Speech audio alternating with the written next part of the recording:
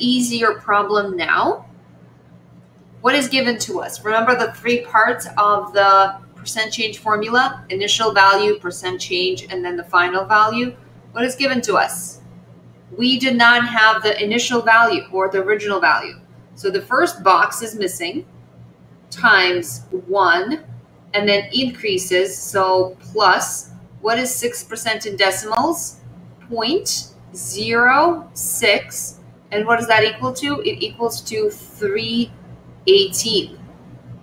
How can we find n? How do you isolate n?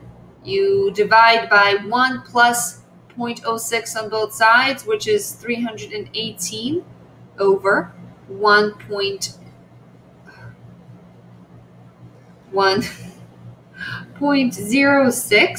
I'm going to grab my fabulous calculator and I will get 318 divided by 10.6 and I get 300. So the answer is C.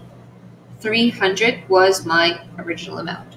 This is how powerful and helpful your percent formula, percent change formula can be.